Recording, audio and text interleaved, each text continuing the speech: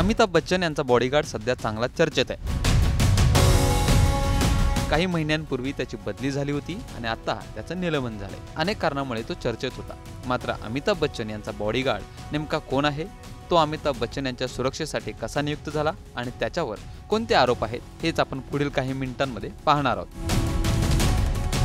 अभिनेते अमिताभ बच्चन यांच्या चर्चेत असलेल्या बॉडीगार्डचं नाव आहे जितेंद्र शिंदे. जितेंद्र शिंदे मुंबई पोलिसात हेड कॉन्स्टेबल पदावर कार्यरत होता. दोन हजार पंधरापासून शिंदे हा बिग बी अमिताभ बच्चन यांच्या बॉडीगार्ड म्हणून नियुक्त झाला होता. मात्र आता जितेंद्र शिंदेची विभागीय चौकशी करण्याचे आदेश देण्यात आले जितेंद्र शिंदे हा तब्येतीने जरी तुम्हाला सडपातळ वाटत असला तरी जितेंद्र शिंदे हा मार्शल आर्टमध्ये ब्लॅक बेल्ट चॅम्पियन आहे. जितेंद्रला तलवारपासून मशीन गन चालवण्याचा तगडा अनुभव आहे.